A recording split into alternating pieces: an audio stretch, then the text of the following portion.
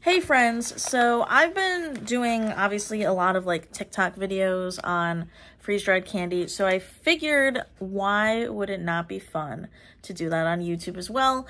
And honestly, from the little views I do get, you guys do seem to really enjoy the freeze-dried candy reviews, so this is another brand that we will be reviewing. Um, I do have like a bunch of their other stuff, but I ended up giving it to a friend because she has a bunch of nieces and nephews, and I thought it was only right. But what I did review is on my TikTok and was really good. So the company is called Up Top Treats. I tried their Berry Moon Rocks, which is basically a berry um, freeze-dried Skittle, which was really good. I also tried their, um, the freeze-dried ice cream sandwiches, like the regular ones that you would get. But these that we will be reviewing today, these are the same thing, but I thought, well, Nick likes ice cream sandwiches too, so I might as well get two. Um, these are the mini ice cream sandwich mint chocolate chip.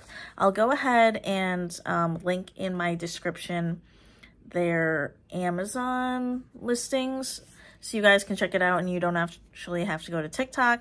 But yeah, we're going to go ahead and try these.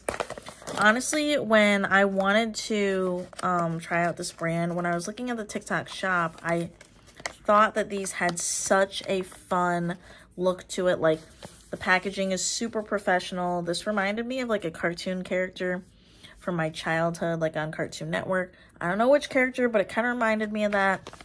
So, yeah. Oh my gosh, I'm so excited. No way. That's a big freeze-dried cookie. I feel like I love like mint chocolate chip ice cream, but the sprinkles really, really hit it out of the park. I think this is my first time having like anything like this.